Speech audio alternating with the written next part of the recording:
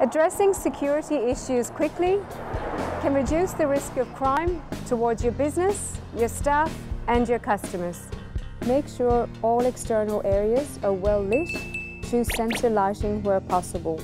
Clear all building perimeters, including fences, of rubbish and potential climbing aids.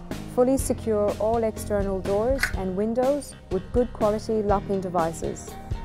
Consider installation of security bars, screens, grills or roller shutters to vulnerable windows and doors.